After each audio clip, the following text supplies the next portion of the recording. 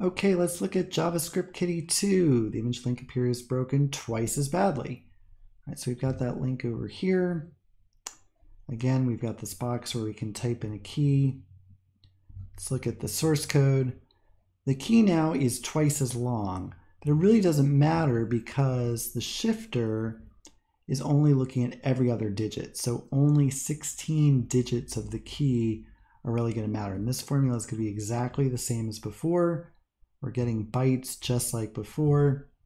So you can grab these bytes, bring them over here, convert them into hexadecimal, bring them down here, throw them into the hex editor, and then we'll walk through that same portable network graphics format. So we can get three for the eight nine, seven for the 5 0, 3 for the 4E, 8 for the 4 7, 1 for the 0D, 9 for the 0A, 3 for the 1A, 6 for the 0A, then we get 0 for this 0, 0. We have 4, 5, or 6 for this 0, 0. 2, 3, or 4 for this 0, 0, 0. And then 1 for 0D. 8 for 4, 9. 5 for 4, 8, 6 for 4, 4, and 9 for 5, 2. So that really only left me with nine different possibilities.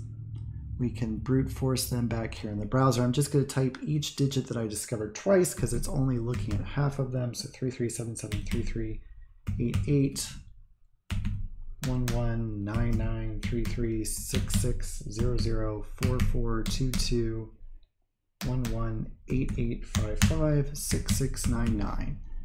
And I submit that broken image. We come back here. So it could be four three four four, or it could be five two five three. There's my image. So I'll copy this image location. Uh, well, cat greater than bob dot png dot base 64.